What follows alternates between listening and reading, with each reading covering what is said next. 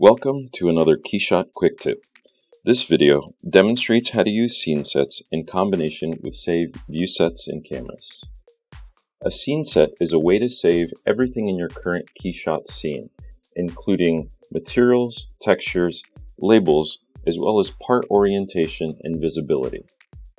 Scene sets are in the project window and you always start with a default scene set. What we're going to do here is we're going to create a new scene set by right-clicking and adding a scene set. We'll call this Toon Exploded. What I'll do in this scene set is change all of the materials in this model by right-clicking and changing the material type to a toon material. Now you can see my model has been changed to the toon material I'll also go in and make some adjustments and create a quick exploded view, as well as hiding some parts. Now I've created a quick exploded view, but when I go to my scene sets and go back to my default, you'll see that it's changed to the original materials. I'll also make a new scene set and we'll call this one hero shot. We'll use this for our final image. I'll go back to my default, which is like the starting point for a scene set, and then I'll also add a scene set for our color studies, and we'll call this CMF variations. For this scene set, I'm going to right click on my entire model, and then I'm going to use the pattern tool to make a pattern of these headphones. I'll make some quick adjustments to the spacing and the rotation. And then I'll apply some different materials to this scene.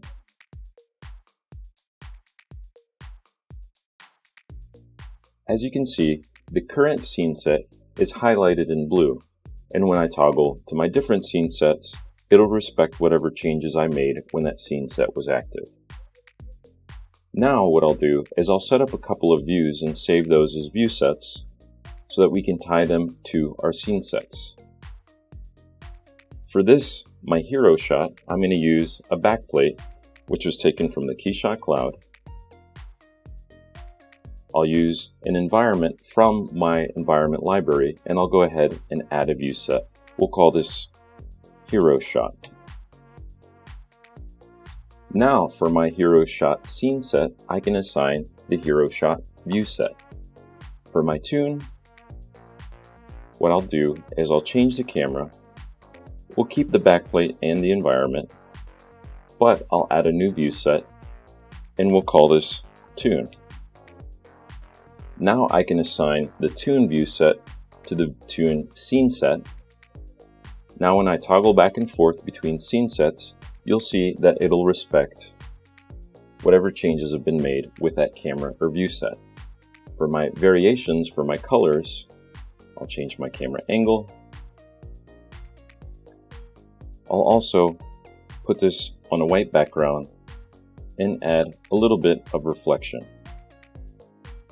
Now I'll add a view set and call it Hero Shot. And for this view set, I'll assign it to my variations